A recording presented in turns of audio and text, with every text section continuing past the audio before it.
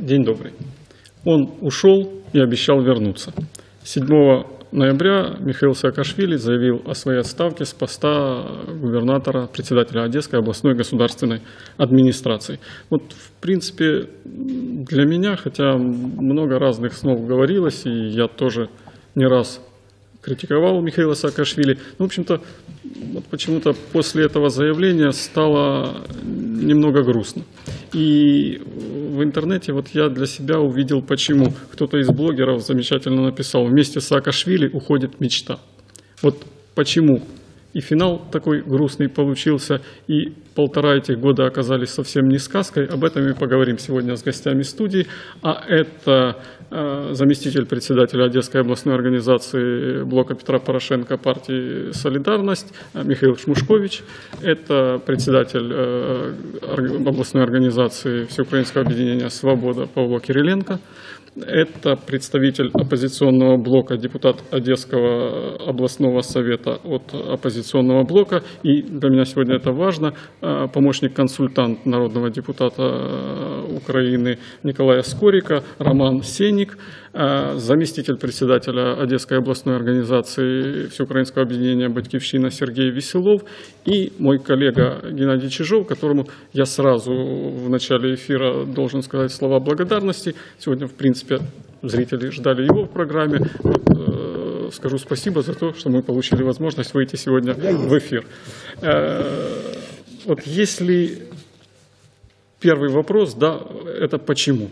Вот на ваш взгляд, те причины, о которых Михаил Саакашвили заявил в своей речи, которая вчера там активно транслировалась, обсуждалась, все причины он назвал, почему э, так сказать, вот он решил именно сегодня уйти в отставку. И мы начнем э, с представителя власти. Я еще спрошу у Михаила Шмушковича, вчера у вас в областном штабе шампанское пили?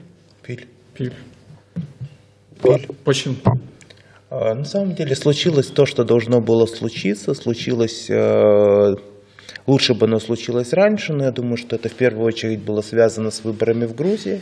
То есть я думаю, что это произошло бы раньше, не будь грузинских выборов, поскольку он не мог уйти до грузинских выборов. А в силу того, что мы имеем дело не с губернатором, а с президентом, пускай бывшим, а, уволить его, я так понимаю, не хотели, по крайней мере, очень не хотели долго, по целому ряду причин. А почему пили шампанского, тоже могу ответить. Это не штаб, это как бы областная организация, потому что на самом деле тот плач, который действительно стоит у нас в районах, его нет ни у одной другой политической силы. Мы власть, мы действительно должны отвечать за то, что происходит, но мы должны не получать хоть какие-то политические дивиденды от того, что когда происходит что-то хорошее. К сожалению, в Одесских, в 90% районов Одесской области происходило все следующим образом. Если происходило что-то хорошее, позитивное, это происходило, этого происходило меньше, чем бы хотелось бы, но такие факты были, э, это была команда Михаила Саакашвили. Если происходило что-то плохое, ну, вчера, в принципе, все услышали, кто мешает. Павел. Я так розумію, що ви не дуже будете сумувати з приводу відставки Саакашвілі. Ну, з цього приводу, я думаю, просто український народ отримав чергове щеплення від популізму, від е, якихось надій марних. І знаєте, наше суспільство воно дуже швидко еволюціонує. Причому саме українське суспільство, і от давайте навіть якщо згадати кінець 90-х років, пам'ятаєте, була така партія зелених, яка колись дуже великі результати на виборах здобула. А потім в нульових там всі проекти е, Медведчука накрилися і не отримували жодних е, пристойних результатів, враховуючи які великі ресурси, е, якщо дивитись, були вкладалися в виборчі кампанії. Хоча в кінці 90-х знову ж таки СДПУО здобула доволі великий результат. Останні останні роки, які в Україні відбуваються, це взагалі е, дуже е, велике просвітлення для українського народу.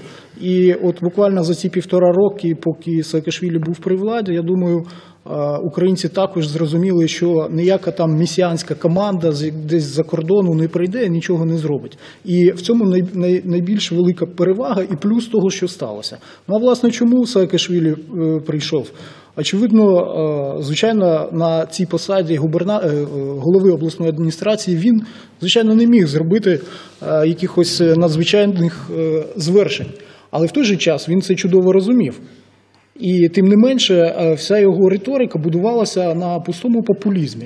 Так, він завжди викриває корупцію, але е, Павло, а те, Його що дії- він іноді говорив і почав говорити те, про що я навіть подумати боявся, не, не кажучи вже сказати в ефірі. Хіба це не велика заслуга Саакашвілі? ну ви знаєте, він не говорив нічого нового. Насправді він говорив Він все, називав все- прізвища, все- про які ми тихенько все, і- та, та всі ці прізвища називали. Просто чомусь саме Саакашвілі приділялася увага. Саме його виступи і месенджі е, транслювалися в ефірі. А, а ті, хто так само говорив ті самі речі, їх чомусь е, з такою е, швидкістю, ну такою активністю не випускали е, їхні месенджі в ефір. От. І е, всі ці розмови про боротьбу з корупцією, знаєте, вони звичайно добрі. Але е, Саакашвілі, те, що він зробив, він продемонстрував, що от ту середню ланку, так, яка, е, якій, скажімо, колишня влада, там, влада злочинного режиму е, Януковича давала можливість десь там займатися корупцією і заробляти, набивати Роман собі кишені частково. частково. От, е, от Саакашвілі довів, що він представляє от той, того політика, який, якщо і буде займатися корупцією, то буде займатися на вищому рівні і середній ланки цього дозволяти не буде. І тому ніхто не скаже, що от Саакашвілі цим е, є корупціонером там, або е, якісь подібні речі. Тим не менше, ми ж знаємо, е, хто стояв в оточенні Саакашвілі. Ми знаємо, що жоден його офіційний заступник, який на державній службі, не підписував жодного папірця і жодного розпорядження, поки е, на це не давали добро е, оця сіра гвардія е, грузинів, нікому невідомих з його оточення, які ніде не рахувалися, і, але тим не менше роз'їжджали на шикарних автомобілях і користувалися е, багатьма благами, на відміну від офіційних заступників губернатора, які отримували е, невеличку державну зарплату. Отже, е, те, що сталося, ми повинні розглядати як е, ну, черговий для е, чергову науку для українського суспільства і е, Ну, свобода не очаровувалася, ну, і тоді буквально не два роз- слова, все ж таки, і те, що е, зараз прогнозують великий успіх його політичному проєкту. е, Ну е, тут вже є великі сумніви. Якщо, наприклад, рік тому А ми ще поговоримо Так. про це. Давайте поки про відставку. От, Роман, опозиційний блок. А, Тоже ну- пил шампанское. Добрый вечер, уважаемые жители области, уважаемая студия. Э, Я хочу сказать, что вчера вся лента новостей была, вот говорили, что это сенсация, но я хочу сказать, что на самом деле сенсацией для Одесской области было назначение председателем областной администрации господина Саакашвили, потому что тогда эм, ну, народ наш не верил, что бывший президент нашего дружеского государства может быть председателем областной администрации. Многие даже надеялись где-то в глубине души, что этот человек может что-то сделать эм, по типу то, что он сделал э, в своем, в своем родном государстве. Но многие забыли о том, что господин Саакашвили это в первую очередь политик. Достаточно высокого уровня, но ни в коем случае не адми- административный работник. Наша область является самой большой в Украине, и она достаточно специфическая. Здесь живет э, много национальностей, и э, каждому э, районному центру нужен особый подход. Так вот, господин Саакашвили, он э, должен был выполнять две функции. А, Функции политические для того, чтобы объединить э, все политические элиты в области, и администра- административные функции. Саакашвили объединить элиты. Да, э, дело в том, что вы По-моему, посмотрите... не про него. Ну, как оказалось, уже да. Но э, изначально цель была такая, потому что... Э, вот, а была еще цель, ведь был палец, да, было влияние Коломойского. И вот тут да. президент очень здорово все это нейтрализовал одним назначением. Ага. В общем-то, дальше и делать ничего не нужно Вся было. проблема в том, что назначение Саакашвили это был такой мнимый спасательный круг для блока Петра Порошенко. Потому что то, что произошло вчера, это такой закат партии власти. Почему? Потому что для меня удивительно, как может соратник, э, скажем так, э, того же Саакашвили пить шампанское за то, что его коллега обвинил и президента, и всю ведь власти в коррупции и бездействии.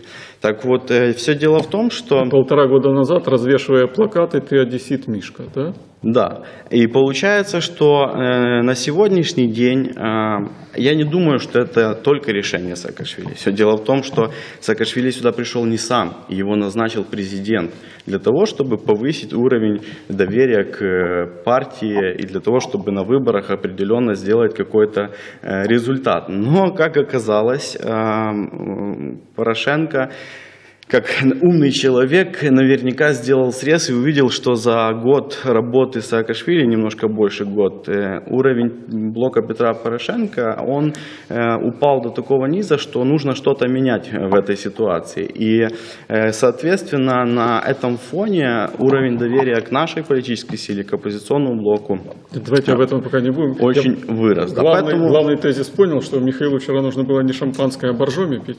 В общем-то, это их сказать... дело, но но в любом случае я считаю, что э, это связано с тем, что э, работа э, политика и администратора Саакашвили, она завалилась, потому что это видно и по всем главам райадминистрации, которых поназначали и, молодых. А Поблок считает, что это ему на руку. Да? Таким образом, рейтинги, в принципе, вашей партии, вы надеетесь и рассчитываете, что они возрастут? Оппозиционный блок ведет свою, скажем так, политическую деятельность, она никак не связана с деятельностью власти. Мы последовательно критиковали критиковали и работу господина Саакашвили, и в том числе президента и кабинета министров, поэтому мы считаем, что Вообще а, такой областью, как Одесская, должен управлять человек, который родился на этой земле, мы еще поговорим. который вот кто, ее знает. Кто свято место займет, да, об этом мы... который... Сергей Робертович, у меня надежда только на вас тогда, что какие-то хорошие слова о Саакашвили вы скажете.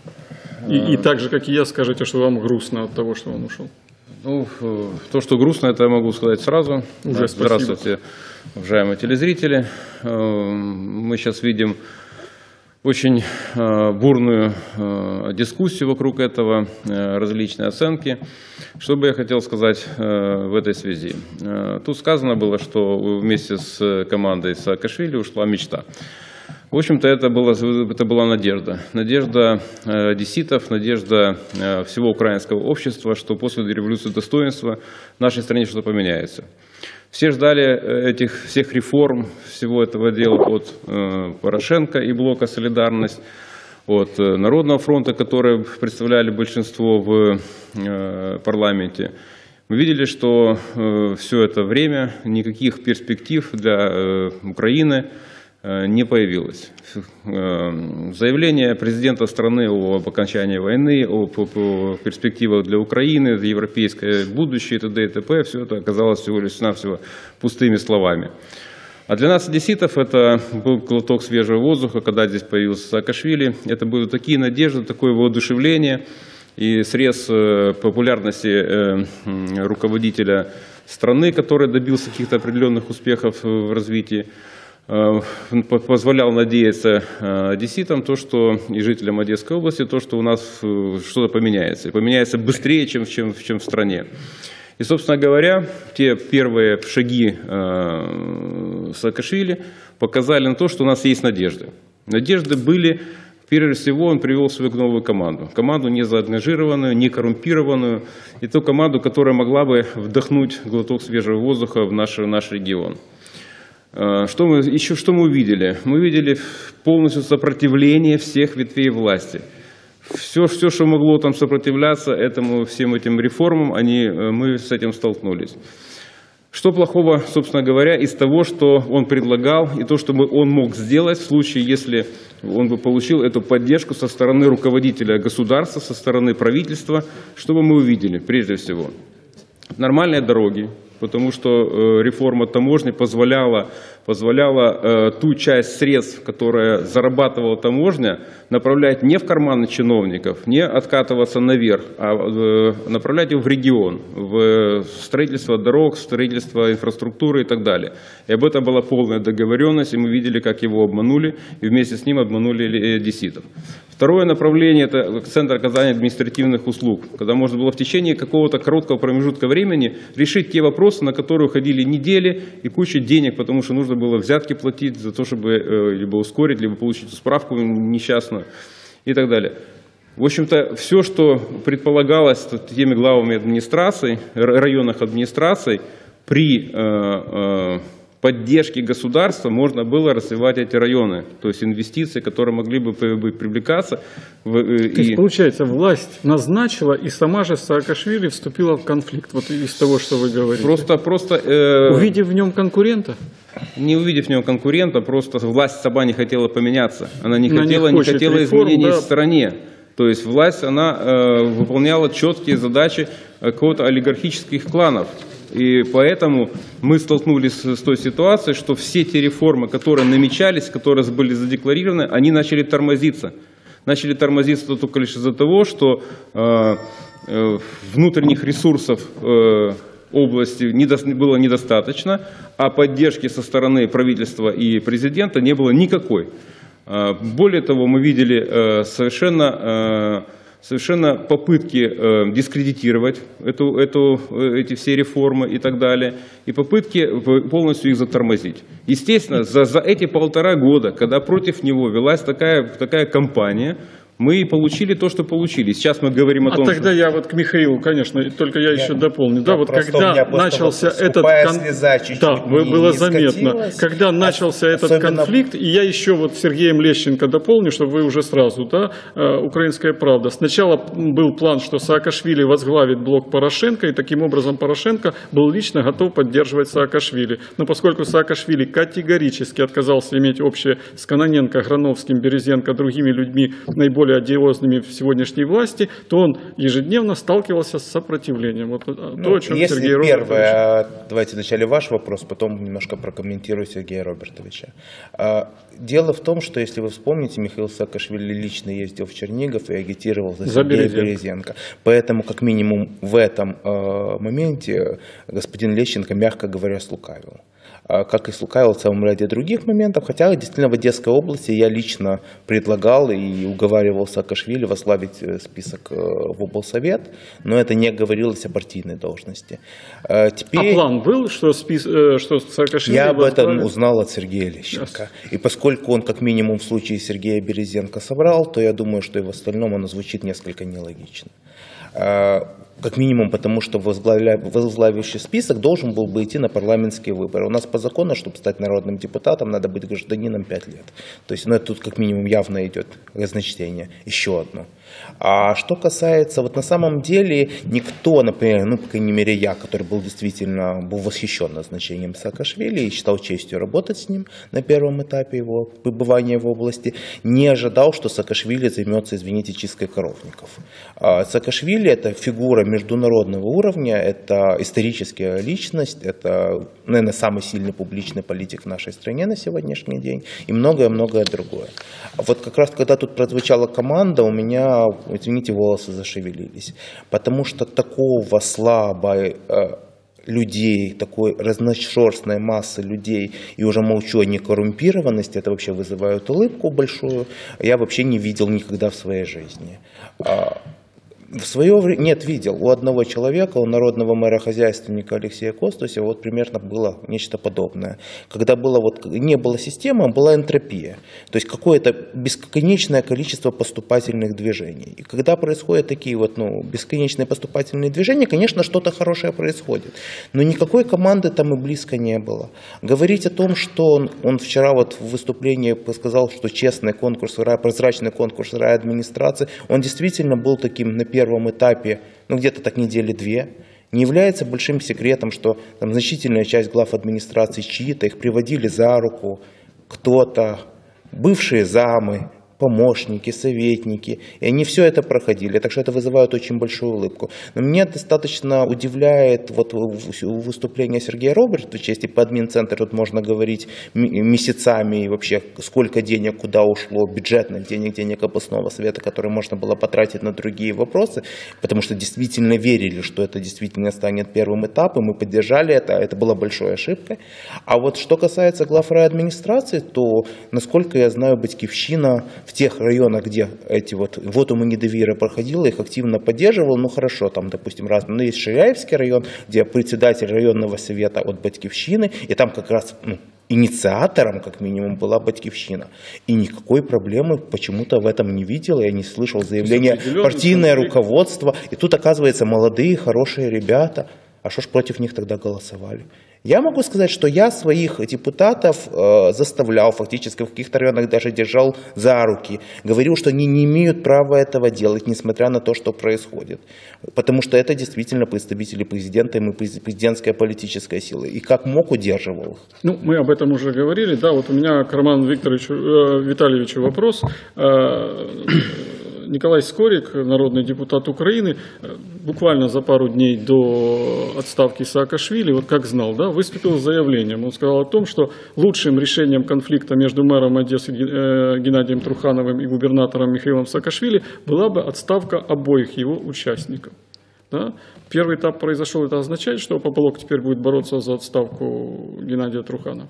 Однозначно, это позиция нашей э, партии. Все дело в том, что оппозиционный блок э, всегда поддерживал здоровые идеи, которые, э, скажем так, как, как минимум помогут людям жить легче. Когда мы неоднократно поднимали в городском совете вопрос, например, последний и, скажем так, самый вопиющий по компенсации тарифа, при том, что Э, городской совет э, имеет хороший э, бюджет, намного больше, чем у областного совета бюджет, и он мог себе позволить в столь сложное время для наших жителей выделить деньги для того, чтобы компенсировать какую-то разницу в тарифах. Но, к сожалению, господин Труханов, он, скажем так, Э, завязав коалицию с блоком Петра Порошенко, начали, скажем так, э, распускать средства туда, куда посчитали нужно. Означает, что мы представителей самые... блока э, увидим на антитрухановском Майдане?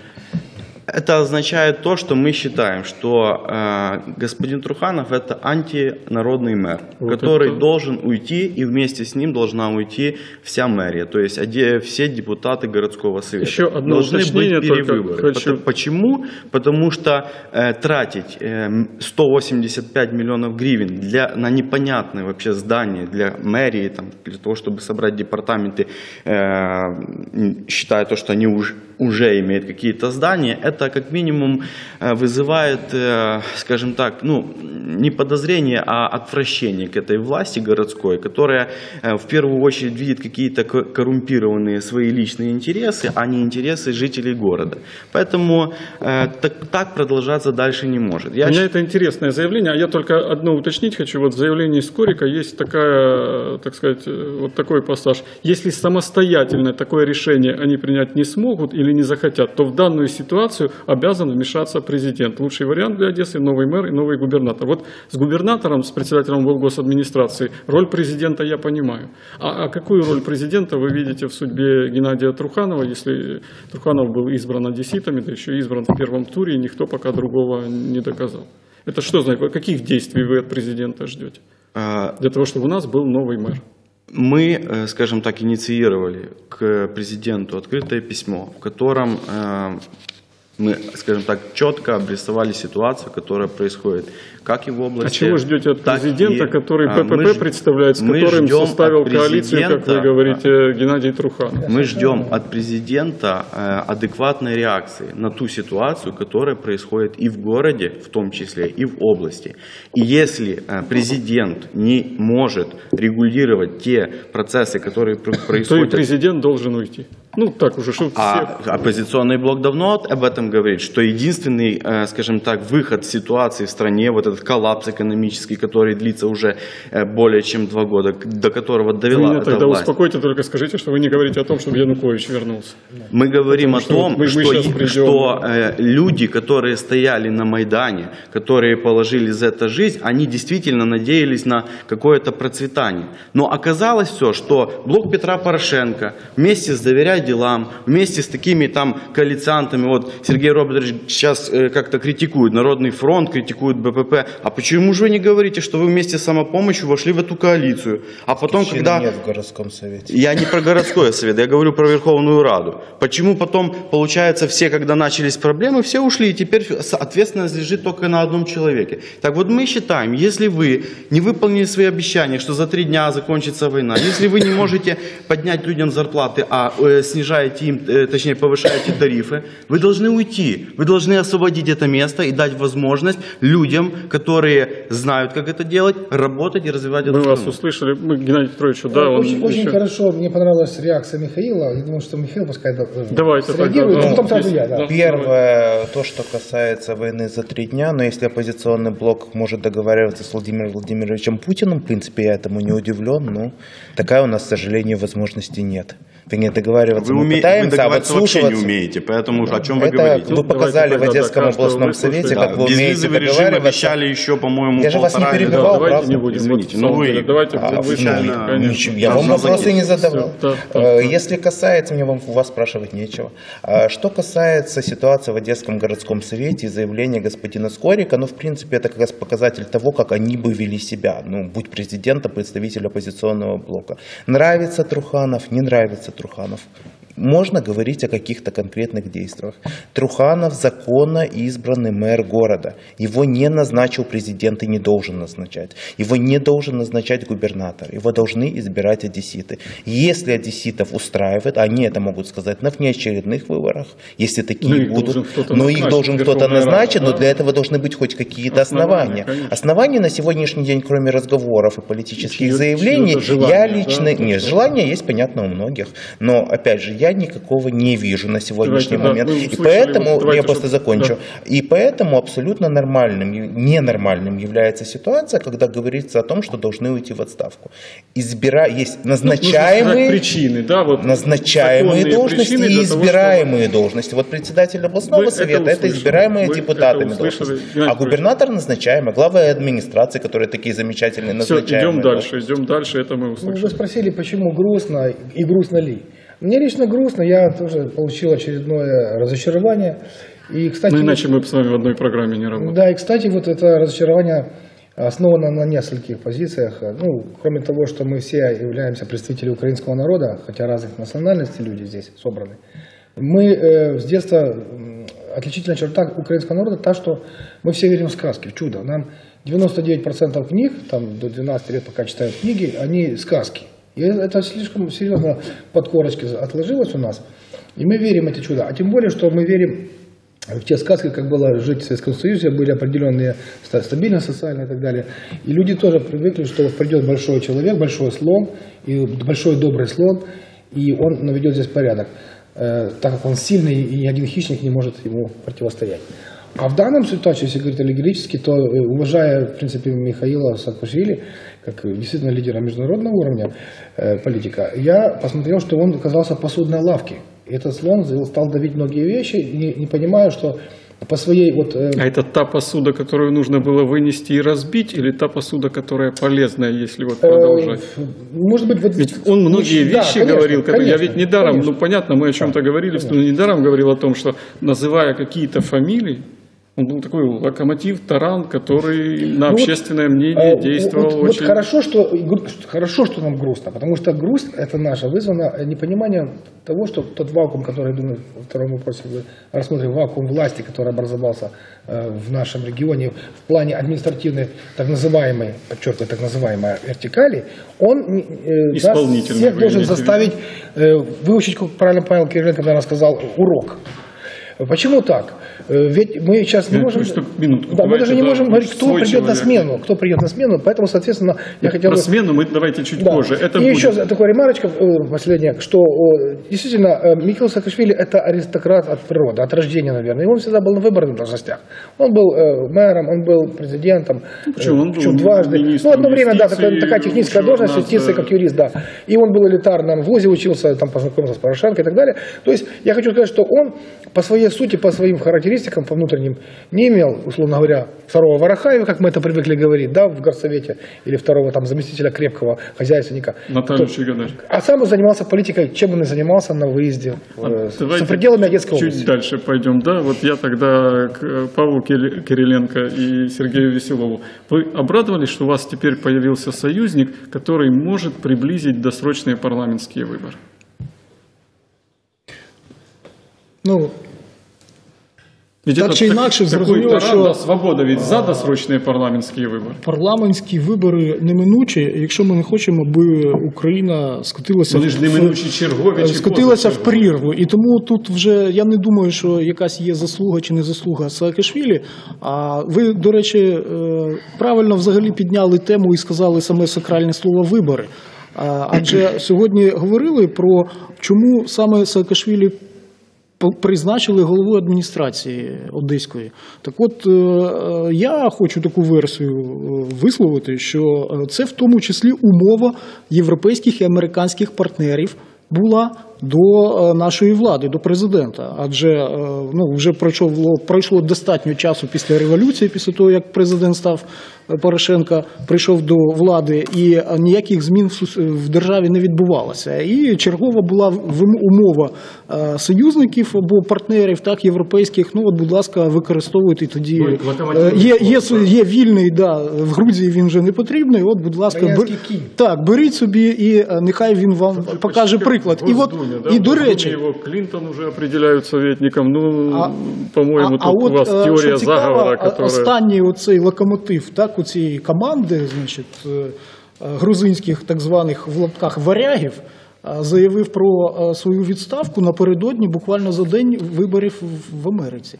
От можливо, в Ну, цьому это просто теж там, може бути якась случайное, а може, наверное, і не совпадение, випадковість. которое, Може, і ну, не это уже випадковість. такие заговоры. Сергей Робертович, так что у нас? Вот ушел Саакашвили. Может стать это э, катализатором такого политического кризиса, э, активных действий к досрочным парламентским выборам?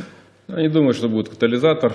Думаю, что это, ну, во-первых, еще нам нужно время разобраться э, основные причины, которые э, побудили принять такой шаг. Ну, он вчера, со- по-моему, очень много о причинах сказал, Ну, и фамилии это, назвал. Там эти ну, 9 минут, по-моему, Есть э, надводная часть айсберга, есть подводная. Мы вскоре об этом узнаем.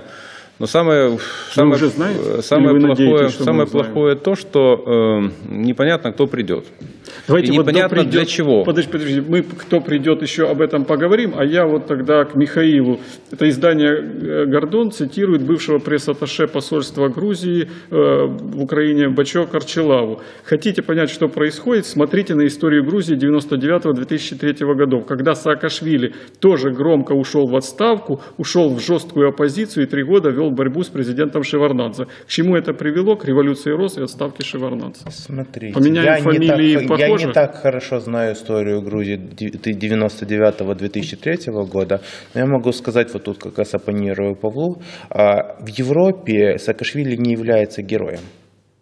Я більше Америку. А, мягко, мягко говоря, не является героем, к нему там относятся практически как к диктатору, а, который имел крайне негативный опыт разгона мирных массовых собраний, и отношение европейских, наших европейских партнеров к Саакашвили, ну, мягко говоря, скептическое, и то, что, в принципе, наверное, должно было отрезвить К Ли таких, Куан как я, Ю у бы, них тоже вопросы были, но результаты его Ви ж не реформ, они, виключаєте, що они певний тоже лобі все ж таки признавали. У Саакашвілі него, підтримує, у скоріше за все, Саакашвили, американський. у Саакашвили действительно очень неплохие контакты с частью республиканской элиты.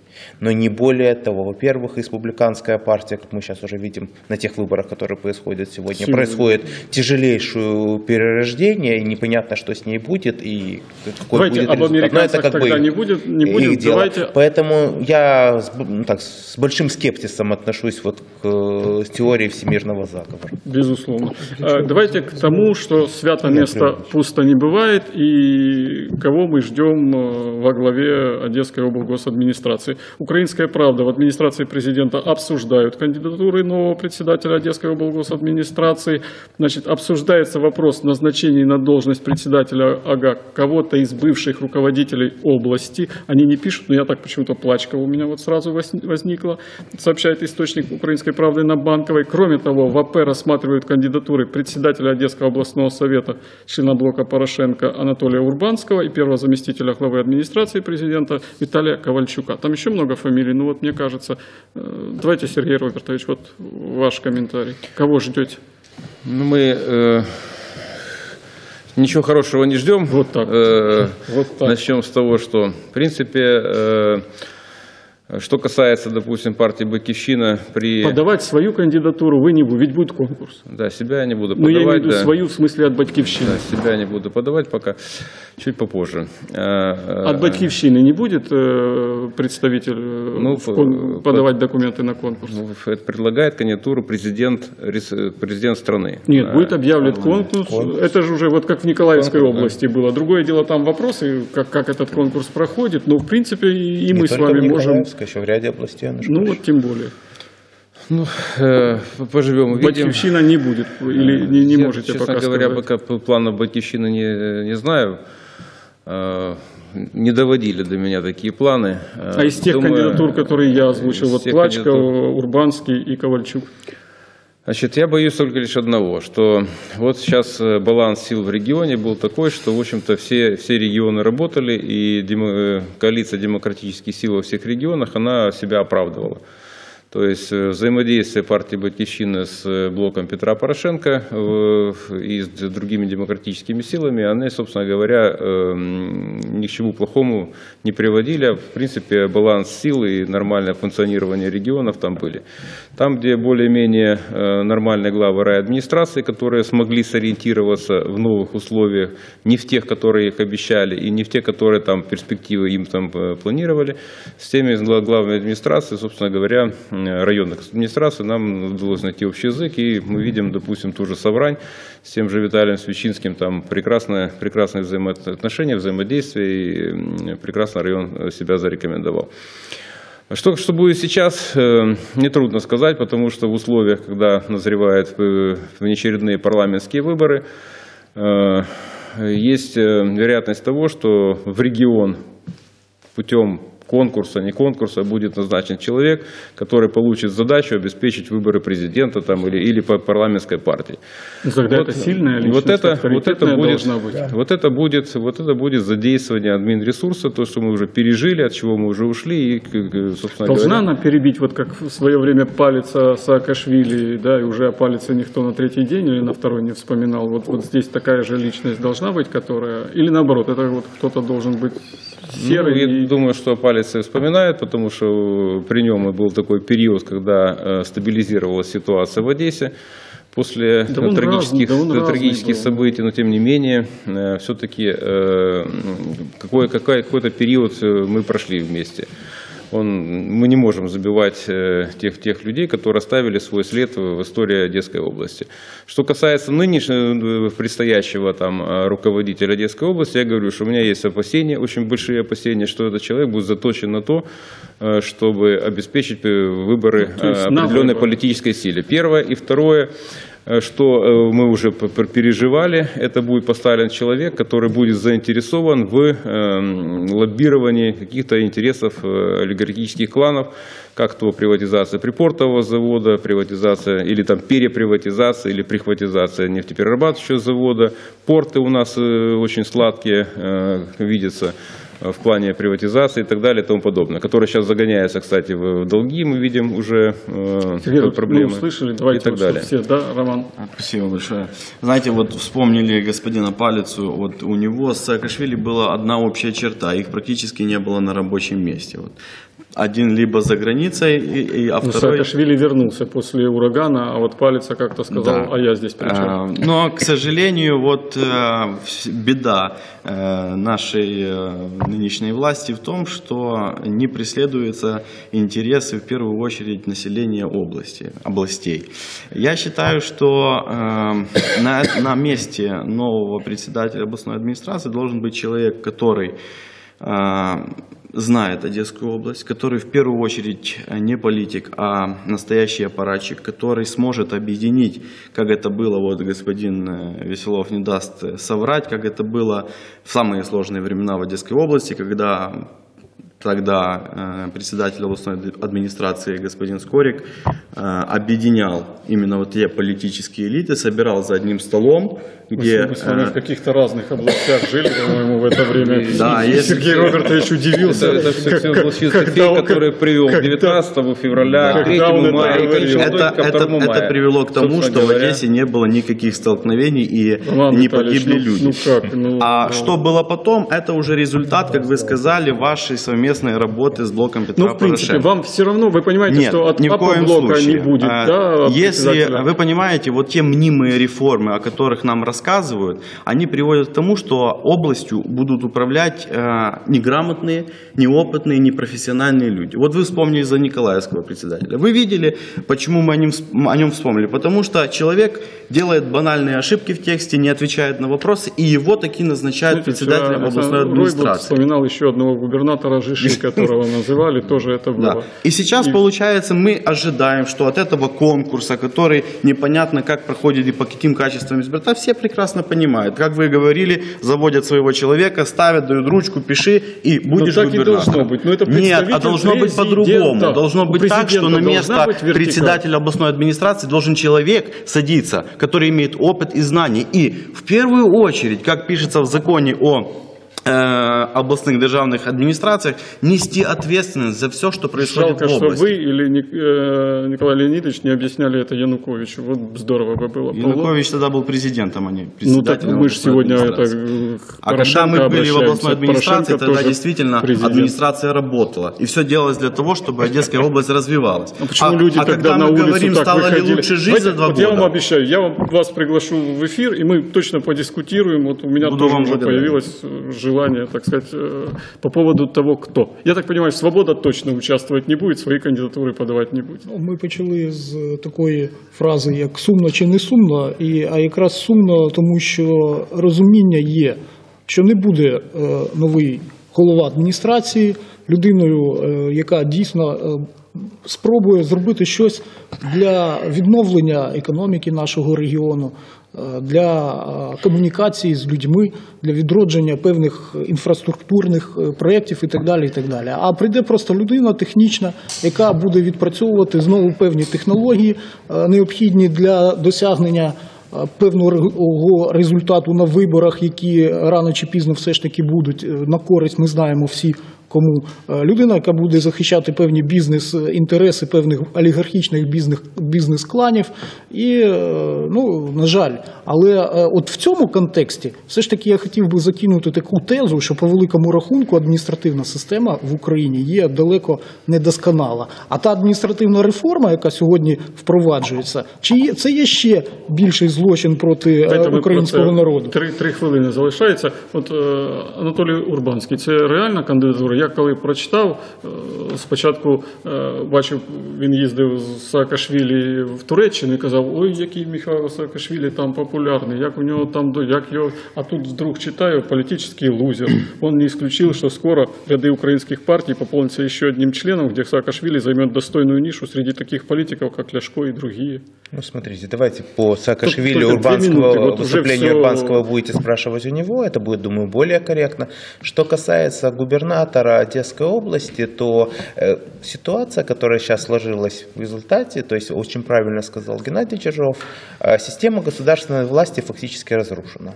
Если в городе Одессе это не столь ощущается, то в Потому районах что есть Одесской городской голова, в да? том числе есть систе- система. Сейчас говорю, между системой и энтропией я всегда выбираю систему. Система может быть неэффективной, коррупционной, но она всегда будет лучше и вот куча каких-то ярких, красивых акций. Я это говорю по Алексею Алексеевичу Костусю, я говорю это про Михаила Саакашвили, буду говорить всегда. Кандидатуру БПП какую будет подавать в эту комиссию? Кандидатуру БП подавать не будет. Будут подаваться люди, но на самом деле тут важно, чтобы человек действительно, вот это действительно важно для области, а не для БПП, который будет иметь нормальную коммуникацию и с Кабмином, и с администрацией президента. Это очень Всё, важно, потому что без здесь них один количество завалов, вопрос, которые в Одесской области образовались, их не Геннадию Петровичу. Вот мы э, сейчас область остается как бы вот без власти такое э, наступает. А мы слышали заявление главы СБУ, который говорил, что есть проблемы, могут расшатывать, могут кто-то сегодня снова поднимать голову. Насколько это опасно? Если в Э, Опасность минуту... гипотетическая существует, потому что планируется вывод 1200 контингента, контингента из Приднестровья. Да, об этом это скорее- Но опять же, опасность все равно, все равно существует. Вот Но- местные силы но могут местные- как-то, так сказать, Местные силы, э, я думаю, что они уже, ситуацию? э, м, они марганизо- марганизованы, эти силы,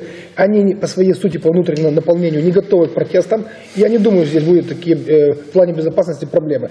А что касается того, что Михаила напомню, действительно, я думаю, что очень правильно, только вы забыли эту фразу сказать, что нужно еще посоветоваться с общественностью.